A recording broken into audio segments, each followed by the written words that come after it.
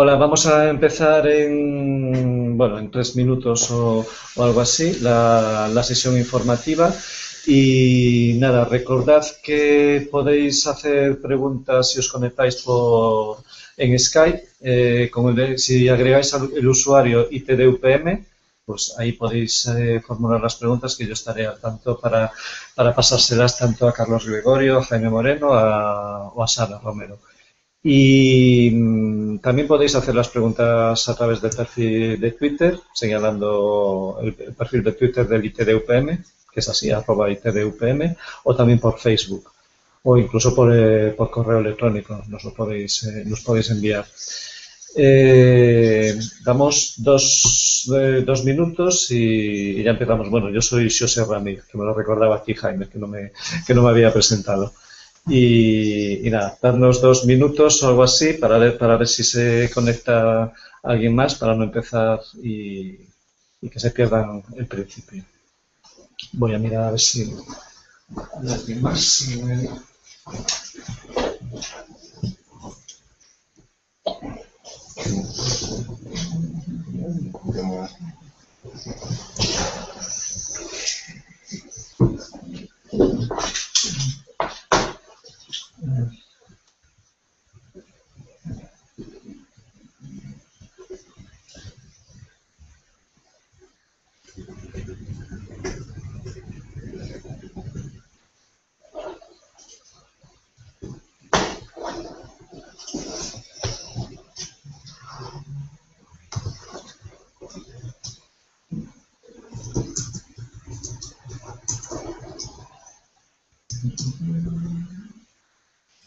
Vamos a eh,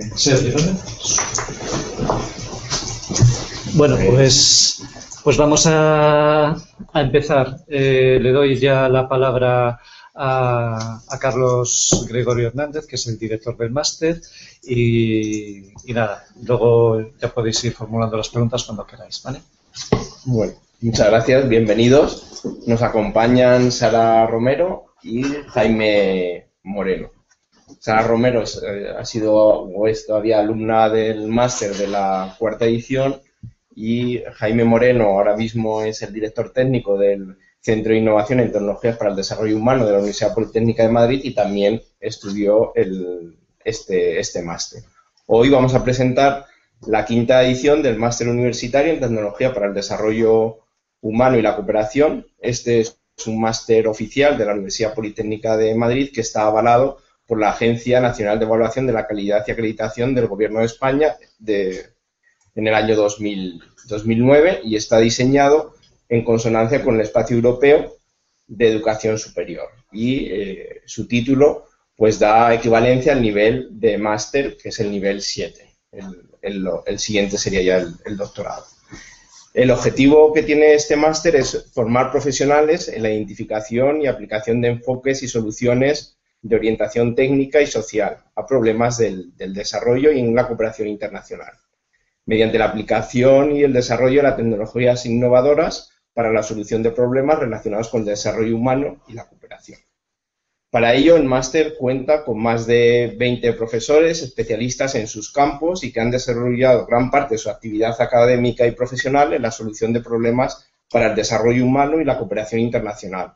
Muchos de estos profesores pertenecen a los grupos de cooperación o de investigación de la Universidad Politécnica de Madrid y todos ellos, o gran parte de ellos, están integrados en el Centro de Innovación en Tecnología para el Desarrollo Humano de la Universidad Politécnica de, Madrid. Además, desde estos grupos de cooperación y desde el propio Centro de Innovación en Tecnología para el Desarrollo Humano, pues eh, tenemos una red internacional de organismos, de empresas e instituciones que colaboran con este, con este máster. La formación que recibe el estudiante de este máster le permitirá comprender las complejas causas que subyacen en la pobreza y en la desigualdad, permitiendo confrontar las dificultades que se oponen al progreso de las poblaciones más desfavorecidas.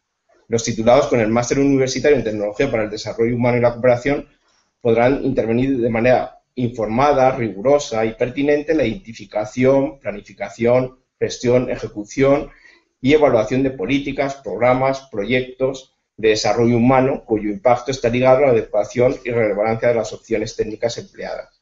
serán capaces de establecer especificaciones y objetivos de innovación técnica apropiada a las condiciones requeridas para su asimilación y diseminación en el sector desfavorecido, basándose en la potenciación y extensión de las capacidades previas. Para lograr esos objetivos, el Máster Universitario de Tecnologías para el Desarrollo Humano se estructura en tres semestres, totalizando 90 créditos europeos. Para facilitar la participación de profesionales y de personas que estén trabajando, el máster se imparte en horario de tarde, de lunes a jueves y ocasionalmente algún viernes en horario de 4 de la tarde a 8 de la tarde en Madrid. Durante el primer semestre se abordan los temas comunes, los fundamentos teóricos y políticos relacionados con el desarrollo y con la pobreza, el sistema internacional de cooperación, las redes y alianzas, el ciclo, las metodologías del ciclo de, de ayuda. Además, los estudiantes podrán profundizar en herramientas como son los métodos cuantitativos y cualitativos para la investigación aplicada al desarrollo o en sistemas de información geográfica, o también en temas relacionados con la seguridad alimentaria y nutricional.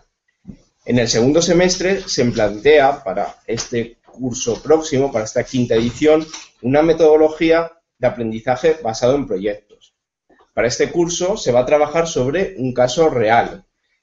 La eh, clase se estructurará en grupos que deberán trabajar en distintas líneas de formación específica, dando cabida a todas las áreas que engloba este máster eh, tecnológico, desde dar soluciones en el ámbito territorial y urbano, soluciones habitacionales, proporcionando bienes y servicios básicos como son agua, luz, energía o comunicaciones, teniendo en cuenta el desarrollo sostenible y el medio ambiente y conectando los núcleos poblacionales con las actividades productivas del sistema agrario y forestal, de tal forma que se concibe una solución integral que capacitará al alumno a resolver los problemas relacionados con el desarrollo y la pobreza.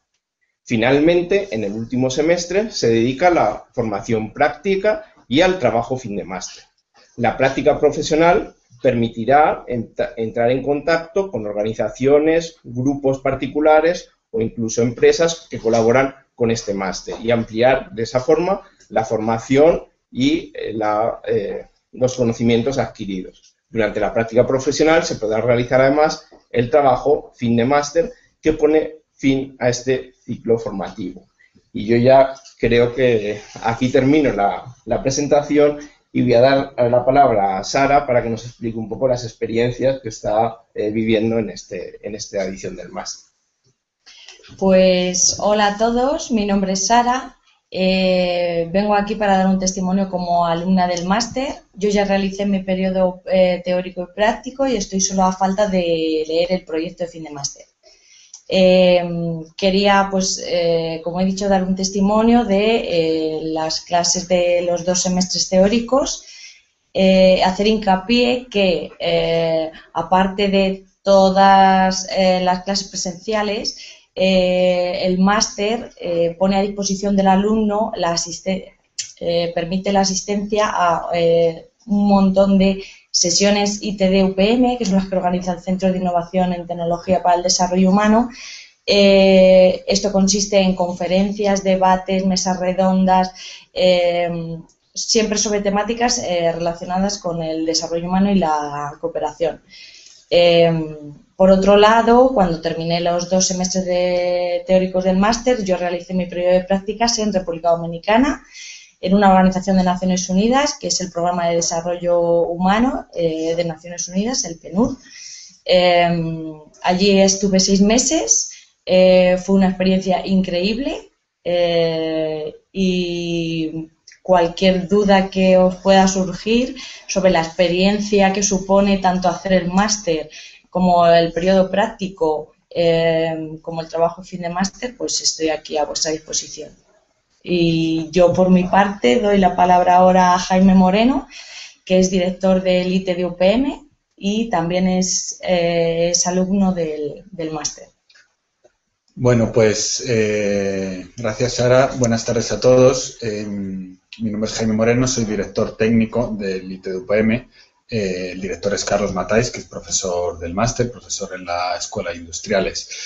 Em, como, habéis dicho, yo soy eh, antiguo alumno del máster y he compaginado em, el cursar el máster con, con, el con mi trabajo en, el ITUPM. Eh, al igual que Sara, pues estoy a vuestra disposición para, contribuir a resolver cualquier duda que se os plantee. Y bueno, me gustaría destacar que mm, desde el ITD eh, estamos trabajando para crear una red de alumnos y de antiguos alumnos que permita em, pues que las, eh, las, siguientes promociones del máster se vayan integrando en esta red y aprovechar em, las oportunidades que antiguos alumnos pueden proporcionar a, los nuevos y, de alguna manera eh, que todo el mundo que pase por este máster pues eh, esté conectado entre sí.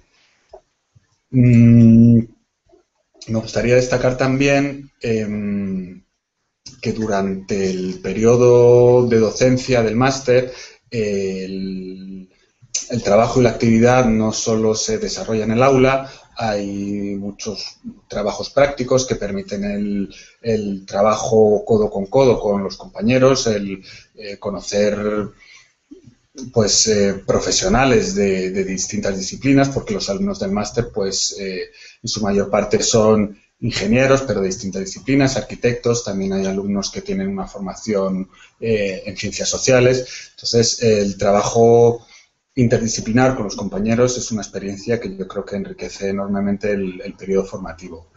Y bueno, yo creo que mm, vamos a, acabar este, esta pequeña introducción, vamos a pasar a, al turno de preguntas, a, bueno, a responder cualquier duda que tengáis y, posteriormente también vamos a responder algunas de las preguntas que nos habéis hecho llegar por, eh, por mail en, el correo que, que, se os envió el otro día. Em, no sé si... pues... ¿Ahora hay, hay preguntas, José? Bueno, sí, hay un pequeño retardo entre la emisión y, la recepción, entonces quizá... Si queréis, leo yo. Empezamos, sí, si queréis podemos empezar con alguna de las que nos habéis hecho llegar por mail. Una de las preguntas eh, que hacíais era, ¿qué idiomas hay que acreditar y con qué nivel mínimo? El, máster se imparte en español y eh, exige la Universidad Politécnica que se acredite adicionalmente alguna, vamos, una lengua extranjera, en este caso el inglés. En principio, con aportar algún certificado, el certificado que pide nuestra universidad sería el equivalente a un, a un B2, pero bueno, en principio, eh, aportar cualquier o algún tipo de certificado oficial que acredite unos conocimientos por básicos de, inglés. Y bueno, eh, para los que no tengan la lengua materna no sea el español, pues sí tendrán que acreditar que conocen la lengua española. Otra de las preguntas que hacíais es eh, si la carta de motivación tiene que ser manuscrita o puede hacerse en, en Word, un procesador de texto, por ejemplo Word. Pues si quieres, Jaime va a contestar esa pregunta. Como antiguo sí. es alumno que carta. Pues yo la hice en Word y bueno, yo creo que eso. procesador de texto. Sí, se, se puede hacer. Eh, se puede hacer eso con un procesador de texto. Si se quiere hacer manuscrita y, subirla al sistema de, de, prematrícula manuscrita, pues se puede hacer, pero vamos, yo creo que es eh, menos práctico y menos cómodo. Otra pregunta era, ¿qué precio tendría el máster? Bueno, el, máster, este máster eh, universitario y oficial, pues está sometido a los precios públicos que publica la Comunidad de Madrid. En, la última edición del curso pasado, el precio del crédito eran de 65 euros por crédito, que por multiplicado por los 90 euros del, los 90 créditos de, del máster, que dura bueno, pues los tres semestres, pues serían algo más de unos 5.850 euros la totalidad de la matrícula del, del máster. Mm. En cualquier caso. Hay que sumarle unos. Bueno, eh, también habría, sí, dependiendo de si el estudiante viene o no, o si estaba antes, era alumno de la Universidad Politécnica de Madrid o no, pues también tendría unas tasas adicionales de, apertura, cierre o de solicitud del título final, que serían unos dos, del unos 200 euros más en, en total. En cualquier caso, bueno, los, lo que serían los pagos, pues van en función de los periodos de matrícula y, bueno, pues también la, la universidad pues da facilidades en, cuanto a la forma de realizar estos pagos. En cualquier caso, en la, la página web del, del máster o de la UPM, pues puede encontrar toda esta información. Otra de las preguntas. No sé si habrá alguna pregunta. ¿Hay alguien que pregunte algo? Si alguna pregunta nueva, la vamos incluyendo. De momento, otra de las preguntas era si habría alguna sesión presencial también. Yo, si me permites, pues la, respondo. Eh, el, el máster es un máster presencial. Las clases se suelen establecer de lunes a jueves. Hay alguna asignatura que se suele haber clase los viernes eh, pero además, ah, como, añadido y como valor, yo creo que, mm, que verdaderamente aporta este máster es eh, que además de las clases teóricas, se, asiste eh, a conferencias, debates y una gran cantidad de eventos que organiza el Centro de Innovación en Tecnología para el Desarrollo Humano a lo largo del curso académico.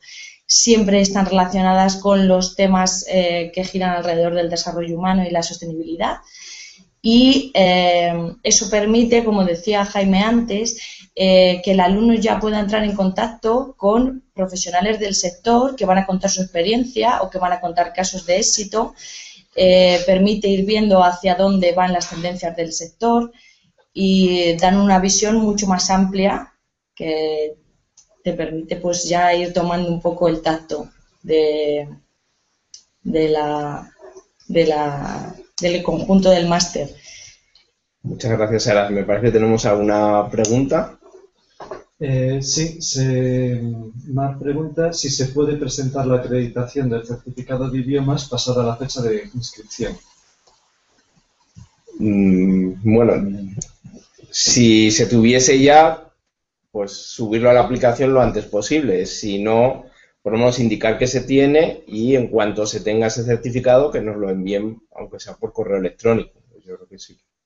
Se podría, teniendo en cuenta que estamos ahora en el periodo de preinscripción, luego ya habrá un periodo de, inscripción formal y de, y de matrícula. La cosa es que en el periodo de matrícula esté toda la información.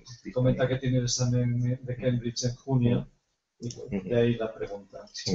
Yo creo que no, que no habría problema por, hecho por presentarlo hasta cuando eh, se abra el periodo oficial de matrícula, que es en septiembre.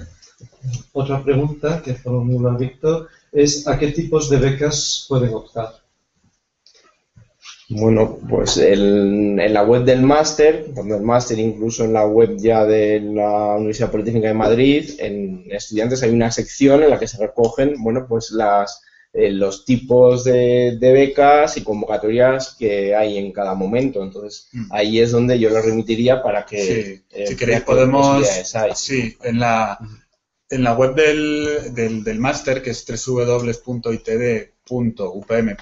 barra máster, hay una sección eh, que se llama becas y ayudas, donde hay, hay mucha, mucha información sobre esto.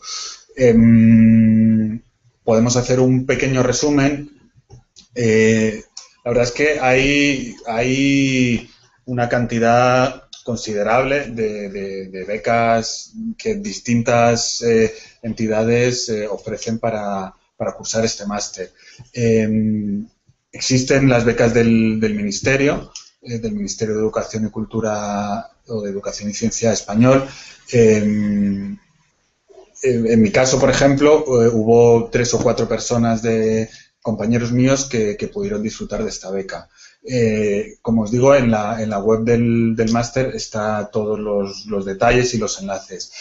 Existen otras becas que también eh, las da el Ministerio de Educación a través de las universidades, que se llaman becas de colaboración, que consiste en, en un trabajo continuado a lo largo de todo el máster, eh, junto con un profesor o junto con un grupo de investigación. Entonces, este trabajo, digamos, está retribuido con el año pasado era una cantidad de, de 2.000 euros. Em, hay otras becas, por ejemplo, eh, bueno, ayudas a la, matrícula de 1.000 euros que ofrece una fundación eh, que tiene sede en, la Escuela de Agrónomos, que es la escuela donde se imparte en su mayoría este máster, que se llama Fundación Premio Arce, y que el año pasado em, convocaba 10 ayudas de 1.000 euros eh, para todos los másteres que se imparten en la, en la Escuela de Agrónomos. Em, desde el ITD también se, se, ofrecen algunas becas para trabajar durante, durante el, periodo de docencia, para trabajar con nosotros y que eh, pues esta, esta, edición hemos ofrecido eh, dos becas de, de 2.000 euros cada una. Em, complementariamente podrían, eh, podrían aparecer oportunidades en proyectos concretos que bueno, eso depende un poco de, eh, la actividad de, cada año. Y, eh, y luego, em, a la hora de realizar las prácticas profesionales, pues existen una serie de convocatorias de becas para financiar las prácticas profesionales que no tengan que no tengan una financiación mm, incorporada. Entonces, este año eh, existe una convocatoria que eh, ofrece la ECID, a la que vamos a presentar varias propuestas, y eh, complementariamente la Universidad Politécnica de Madrid también ofrece una convocatoria de becas para la realización de las prácticas. Entonces, como os digo, bueno, mm, toda la información la podéis encontrar en, la web del máster y, la podéis leer con calma y, y, ahí hay algunas de las becas que todavía que las convocatorias de este año todavía no han salido, entonces podéis leer la información del año pasado y en cuanto salgan, pues eh, la actualizaremos y, le incluiremos la información en la web. Muchas gracias. ¿Hay alguna pregunta más? Sí, había una pregunta de cuáles son los periodos de inscripción, de cuántos periodos o qué periodos hay. Pues ahora estamos en el periodo. No sé si me han escuchado, repite la pregunta por Ah, sí, preguntan que cuáles son los periodos de inscripción al, máster. Eh, estamos en el primer periodo, que es la prescripción. Este periodo eh, normalmente está orientado, sobre todo, para que los que se quieren apuntar o cursar este máster, pues se les haga una carta de admisión y con esa carta poder optar a becas y, y a otro tipo de ayudas. Están pensados sobre todo para la gente de fuera de, del Estado español. Luego, en, en el mes de junio-julio se abrirá el plazo ya de inscripción y una vez finalizado el plazo de inscripción en septiembre se abrirá ya el, el, plazo de matrícula. Es decir, eh, para formalizar realmente la matrícula te tienes que haber inscrito en el periodo de prescripción que sería el mes de junio julio. Ahí, bueno, ahí es que lo que pasa es que hay dos periodos de prescripción. Ahora estamos en el primer periodo de prescripción que finaliza el 30 de abril y posteriormente se abre un segundo periodo de prescripción que se abrirá sobre el mes de mayo y que termina normalmente a final del, del mes de junio. Entonces, como dice Carlos, para poder matricularse en septiembre, que es cuando, a finales de septiembre, que es cuando se realiza la matrícula ya formal, hay que estar, eh, hay que haber solicitado la, preinscripción y eh, desde la dirección del máster se hace una selección y se eh, comunica la admisión o no admisión a los, a los candidatos que hayan solicitado esa, esa prescripción. Aquí había alguna pregunta más que nos hacíais por email. ¿Cuál? la leo. Eh, con una discapacidad ligeramente superior al 33%, eh, si sería gratuita la matrícula del máster. Sí, en principio eh, lo que dice la normativa de la universidad es que hay, hay una exención hay una exención total de, los precios públicos y yo creo que lo que sí que habría que pagar son las tasas de de apertura de expediente, de trabajo fin de máster, pero digamos lo que son los 90 créditos ECTS eh, estarían, estarían exentos de, de, pago. También tienen este, bueno, reducciones del pago las familias numerosas. En función del nivel de familia numerosa, pues así podrán tener una reducción del, precio de la, de la matrícula, las tasas de, matrícula. Sí, esta, esta información la podéis consultar en, la, en, el, en, el, documento de preguntas frecuentes que hemos elaborado y que hemos colgado en la, en la web del máster para que, bueno, para que, para que esté a disposición de todos vosotros y de todos los interesados en cursar el máster. ¿Tenemos alguna otra pregunta? De momento podríamos eh, ir viendo con vosotros, mientras se os ocurra alguna pregunta más, eh, la información que ya está en la web del máster, porque puede que se os vayan ocurriendo preguntas cuando se acabe esta sesión. Entonces, eh, en la web del máster hay una gran cantidad de información eh, sobre el acceso y la matrícula, que ya hemos hablado sobre todo de los plazos de prescripción, que ahora es lo más importante. Hay otra sección sobre el programa del máster donde se cuenta cómo se estructuran esos créditos, esos 90 créditos del máster en tres semestres, dos teóricos y uno práctico. Eh, hay también otra sección de profesorado donde se pueden ver no solo los perfiles eh, y un breve resumen de cada, de cada profesor y cada docente, sino también eh, un enlace a una web donde hemos albergado un montón de contenidos multimedia del IT de UPM. Se pueden ver a los profesores y a los docentes dando charlas, en conferencias, en actividades en las que han participado como profesionales de su área. Eh, hay material eh, audiovisual sobre una gran cantidad de, temas dentro del ámbito del desarrollo humano, agua y energía, eh, de acceso universal, medio ambiente, de cambio climático, negocios inclusivos, emprendimiento social. Eh, aparte de esta sección de profesorado, hay otra sección donde se detallan las prácticas profesionales y eh, un subapartado sobre una sección que se ha creado de prácticas, eh, de las prácticas que van a realizar los alumnos este año. se indica brevemente pues, en los países donde se realizan, suele ser fuera de, España, a poder ser, siempre en zonas de desarrollo, para que la, experiencia del máster y el, conocimiento que se adquiera sea lo más global posible.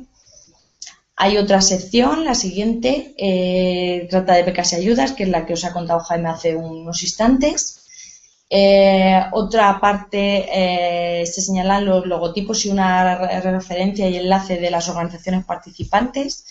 existe una gran red alrededor del, del ITDUPM, del Centro de Innovación y Tecnología para el Desarrollo Humano, de socios y colaboradores, tanto nacionales como internacionales, a, través de los cuales también se apoya eh, en los cuales también se apoya este máster.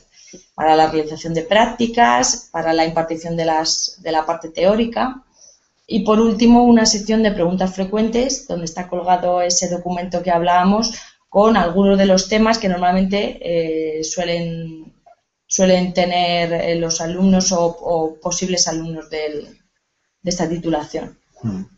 Em, complementariamente a lo que dice Sara, eh, yo os invitaría a todos los que estéis interesados en cursar el máster a navegar tranquilamente por la web del ITD, en la que hay una gran cantidad de información sobre los proyectos de investigación aplicada y de gestión del conocimiento que estamos llevando a cabo, en los que algunos alumnos, compañeros están participando. Em, y bueno, que es, eh, yo creo que sirve, o sea, que es una manera muy útil de hacerse una idea de tanto las temáticas eh, como, como las herramientas y, bueno, y el grado de especialización y de, y de conocimiento que, hay alrededor de, este máster y, de este centro.